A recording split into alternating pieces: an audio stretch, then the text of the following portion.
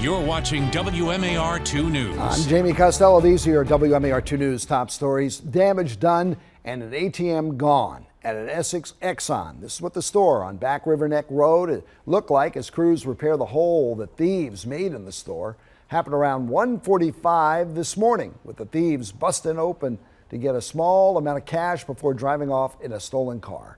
Baltimore County detectives say stores should reach out to them on how to protect those stores from thieves before they're hit.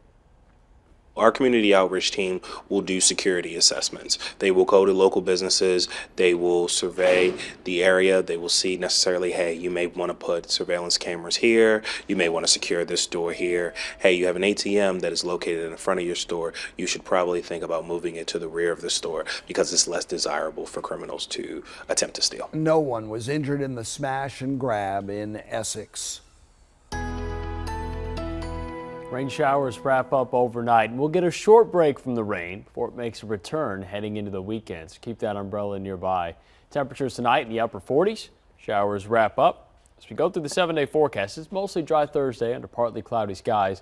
Friday looks like an all-day rain. We're talking early in the morning through the evening hours, light showers in place. Lingering thunder showers into Saturday. High temperatures get back to that 70 degree mark and then some staying active early next week, but a break from this active pattern Tuesday, Wednesday, and a partly cloudy skies. Click with us online at WMAR2News.com all day for updates on top stories and breaking news. Also, for news and weather while you're on the go, download the WMAR 2 News app in the App Store. Thanks for watching. I'm Jamie Costello.